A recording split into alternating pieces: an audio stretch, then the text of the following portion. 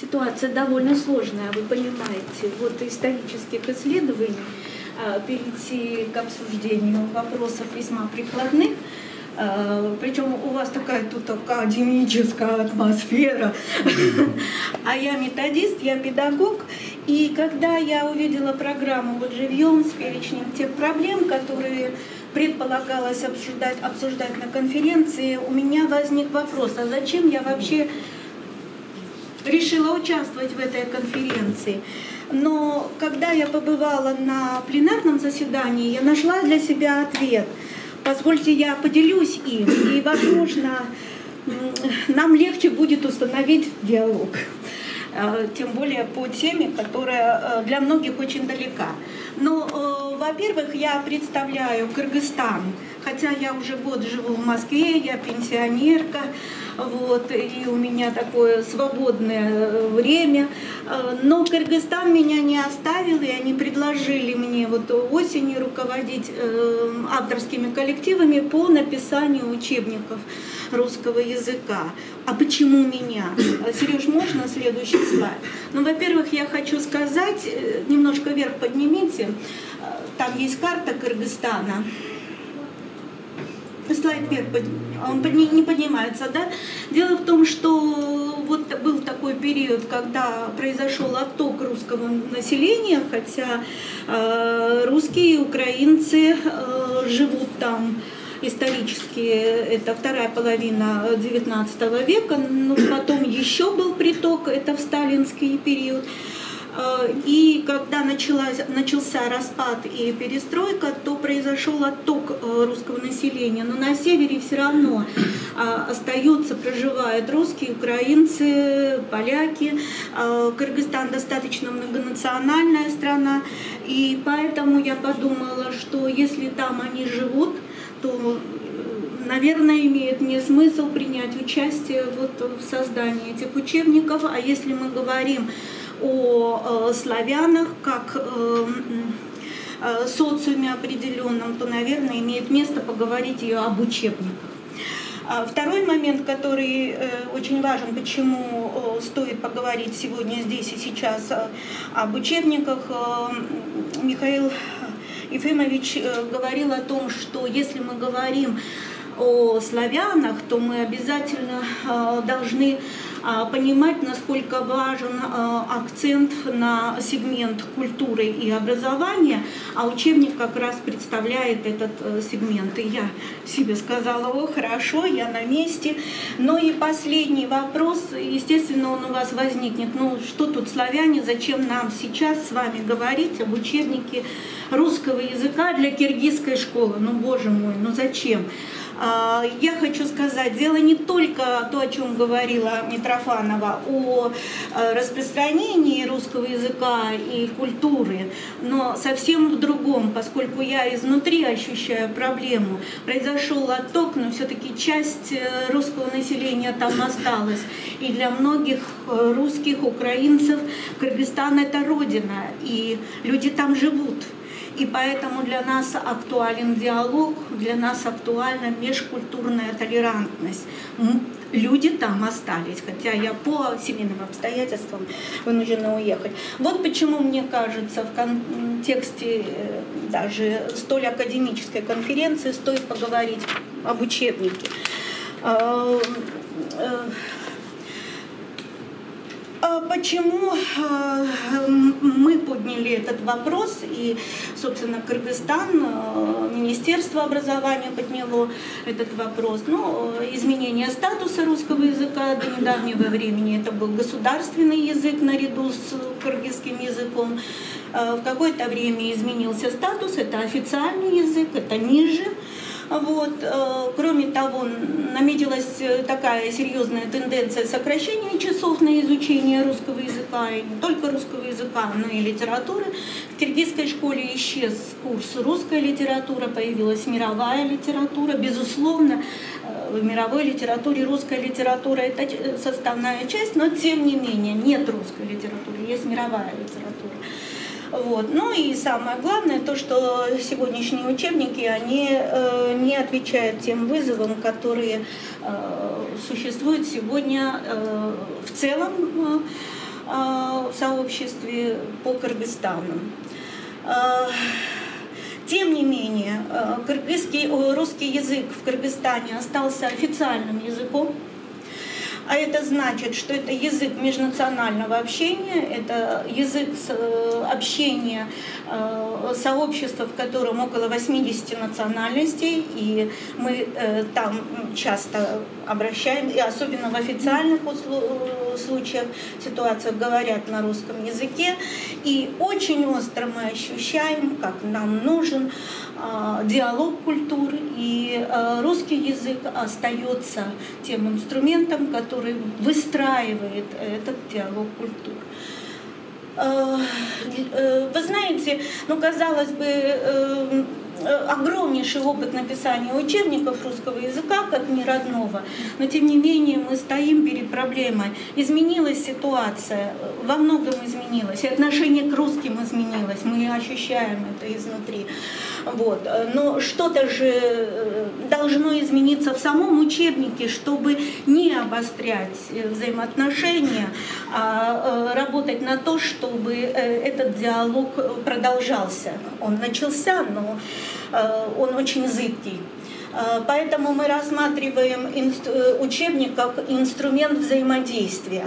Вот, ну, учебник и учебник, ну что тут такого? Вот если на учебник посмотреть как инструмент взаимодействия кого? Ученика и учителя, ученика и ученика, ученика и информации, то вот такой взгляд на учебник, он немножечко меняет подход э, к отбору материала и подаче материала для детей. И еще один момент очень э, важный. Э, дело в том, что всем известный исследователь Бахтин когда-то писал, что единственной адекватной формой словесного выражения подлинной человеческой жизни является незавершимый диалог. Жизнь по природе своей диалогична, Жить значит участвовать в диалоге, вопрошать, внимать, ответствовать, соглашаться. Я с хорошим э, настроением читаю это высказывание, потому что Мария Александровна как раз говорила о том, что с диалогом у нас не все хорошо, и я думаю, вот хорошо, а мы учим диалогу. Вот. И поэтому мы э, решили, безусловно, будем опираться на те традиции, которые есть в создании учебников русского языка как неродного, но диалогичность мы выдвигаем на первое место. И это то самое, э, та самая характеристика, которая нам позволит реализовать коммуникативный подход э, при личностно ориентированном обучении. Эти термины, возможно, для вас немножко Э, в нови, но это то, что сегодня говорят документы официальные, стандарты и так далее. Таким образом, э, диалогичность э, как характеристика, она как раз позволяет сделать участников, всех участников образовательного процесса достаточно активными и как бы вывести их на обмен мнениями, на обмен информацией. Вот э, я не буду подробно останавливаться, вероятно, это для разговора для другой конференции, но тут все в порядке у нас, э, я имею в виду в лингводидактике, потому что у нас есть принципы, мы ими руководствуемся, все нормально, и как бы все хорошо, и учебники есть, но э, я бы хотела сделать акцент вот на двух последних принципах, принцип аутентичности учебных материалов и принцип новизны. Это довольно сложно. А, долгое время в учебниках, может быть, вы вспомните свои учебники, там очень часто в учебниках русского языка идут отдельные предложения а, из литературных произведений. Э, вот учебник как не родной, он строится на текстах. И была такая тенденция создавать ну, специально специально учебные тексты. Ну, быстренько садился методист и рисовал тексты, которые могли здесь и сейчас продемонстрировать функцию какого-то, э, какой-то языковой формы и довести. Так э, сейчас ставится проблема, чтобы эти тексты были аутентичны, то есть это были настоящие тексты, вот, и чтобы они были интересны ученикам, и тогда только состоится диалог. Э, пожалуйста, Сереж, дальше. Ну, вот вроде все нормально, хорошо, принципы есть, все, мы работаем. а как же придать диалогичность учебнику? И вот здесь мы поставили себя на позицию ученика. Ученик открывает учебник. Перед ним стоит пять вопросов. Мы их сформулировали. Первое. Что я буду делать на уроке? Зачем я это буду делать? Как я это буду делать? С кем я буду взаимодействовать? Собственно, каких результатов я достигну. Когда мы для себя сформулировали эти вопросы, э, нам ну, как-то стало э, более понятно, э, как же все-таки вложить диалогичность в учебник. Я хочу сказать, что проблема какая? Ну, кто сегодня там рвется на педагогическую деятельность единицы, недостатков э, все равно, э, недостаток учителей ощущается, особенно учителей русского языка это ощущается. Поэтому мы придаем большое значение э, учебнику, чтобы даже неопытный педагог, даже педагог, плохо владеющий русским языком, он смог вывести учеников которые действительно хотят изучать русский язык на достаточно высокий уровень. А, за счет чего? Безусловно, это зрительный ряд, это мы должны пересмотреть, э, каким образом мы будем подавать теорию о языке и речевой материал, и каким образом мы будем давать инструкции. Вот, следующий слайд. Но прежде всего э, диалог в наших учебниках начинается с того, э, что мы четко говорим детям, э, это даже может и учитель не озвучивать, зачем он пришел на урок сегодня, что он будет делать, узнаете, научите, будете рассказывать. Я хочу обратить внимание вот на это, будете рассказывать, будете говорить, будете интервьюировать, будете описывать. То есть мы всегда указываем конечную речевую задачу, к которой ребенок придет в конце урока. Дальше идет рубрикация, что я буду делать, зачем я это буду делать. Мы работаем над словом, мы тоже работаем не так, как обычно. А, мы э, не просто даем новые слова, а мы даем лексико-грамматические группы слов, где есть известное и новое. И все это по той теме, о которой будет вестись, речевой теме, о которой будет вестись речь на уроке. И поэтому ребенку как бы ему приятно, что о нем думают, ему дают то, что потом он будет использовать на уроке, решать те проблемы исследовательские и речевые, с которыми он столкнется. Дальше идет работа над, над грамматикой, как я буду это делать, то есть как я буду готовиться к э, тому, что мне надо описать или рассказать, и с кем я буду взаимодействовать. У нас в учебниках есть такие мини-исследования, когда э, не учитель сообщает информацию, а когда ученик делает мини-исследование, приходит к выводу, как функционирует русский язык, и именно по той теме, по той речевой задаче, с которой он столкнется, и э, выходит он от анализа, э, выходит к синтезу и постепенно подходит к тем результатам, которые они демонстрируют. Вперед, идем. Вот, есть э, э, самоконтроль на уроке, тогда ученик видит, каких результатов он достиг. Пожалуйста, следующее. Вот. И еще что позволяет достигнуть диалог... Э, что нам позволяет достигнуть диалогичность, мы изменили форму э, установок, которые содержатся в учебнике. Вы, наверное, помните вот это вот прочитайте, подчеркните, выделите и так далее.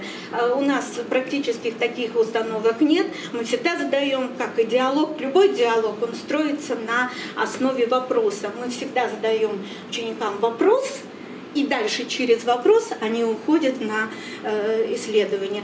Сереж, вот страничку учебника, я так, у меня минутка еще есть, я покажу. Э, я покажу страничку учебника «Живем не могу», потому что мы, э, этот учебник, он в издательстве. Э, это начало линейки. Вот, э, вот видите, э, там, ну я специально тему выбрала такую прогулки зимой. Узнаете, научитесь, научитесь. Дальше идет новые слова и чуть-чуть выше Сереж. Вот как раз лексика, грамма... Нет, туда лексико-грамматические группы, видите, не просто заповедник, не просто кормушка, а новый заповедник, новая кормушка, новое гнездо, новые заповедники, кормушка. То есть дети начинают понимать, что делать с этим словом, и что значит кормушка, что значит заповедник. Видите, они там стоят. Мы не вводим э, значение рода, а они просто практически усваивают. Безусловно, дается э, задание на то, чтобы дети Э, усвоили слова. И вот я хотела сказать, это те самые мини-исследования, когда не учитель транслирует какую-то новую информацию, а дети сами ее анализируют, там четко прописан алгоритм. И чуть-чуть выше, Сереж, вот э, появляется правило инструкция. Итак, э, речь не идет о родительном падеже, который обозначает принадлежность, а совсем иное. Чтобы назвать лицо или предмет, который кому-то принадлежит, нужно задать вопрос чьи-чьи-чьи, и поставить имя существительное в родительном падеже. То есть э, ученики понимают, э, зачем им нужен родительный падеж и что с ним делать. Ну и дальше э, они выполняют определенные, вот как ответить на вопросы. Видите, есть вопросы, а они должны это по поводу инструкции. Видите, везде вот мы не говорим восстановите диалог, а мы говорим, как ответить на вопросы. Вот а какое правило создать, а какие слова вставить. И вот таким образом дети э, работают. Но и еще интересная вещь, э, зрительный ряд очень важен, э, это начало истории, а конец истории в начале учебника. Потому что там есть, вот видите, шапка упала, и мы спрашиваем, э, чем закончилась эта история. И дети возвращаются, нет, Сереж, к началу урока вот она чем закончилась. Она закончилась тем, что собачка вернула шапку девочке. Вот такая история. А, а, и последний, Сереж, слайд. Я просто... Э, да, Э, вот очень важно, э, я рада, что э, и вчера, и сегодня звучит тема диалога. Судя по вашим улыбкам, у меня тоже диалог состоялся. Вот. И я еще раз убеждаюсь, что очень важно обучать общению через общение, через диалог. И что учебник – это инструмент гарант атмосферы общения на уроке. И именно учебник – формирует межкультурную коммуникацию. И именно поэтому задорожная, которая на пенсии, продолжает сотрудничать с Кыргызстаном. Спасибо за внимание.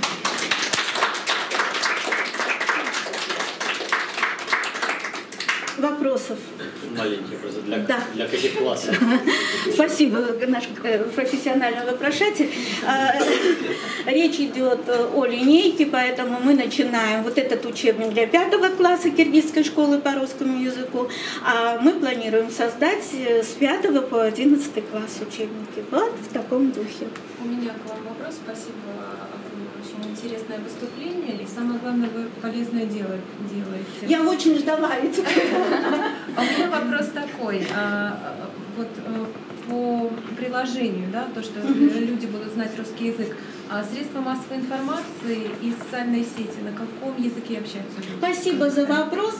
А, безусловно, скажем, а, средства массовой информации двуязычные, то есть есть э, газеты, журналы на русском языке, есть на киргизском, э, причем по качеству, по насыщенности, по разнообразию э, приоритет держит информация на русском языке. В основном народ, скажем, в соцсетях, в интернете работает на русском языке, потому что Кыргызстан не имеет ресурсов. Там отдельная история. Просто киргизский язык был застой, он не может выполнять функцию, которую в любом сообществе выполняет э, язык. Это значимость. Да, да.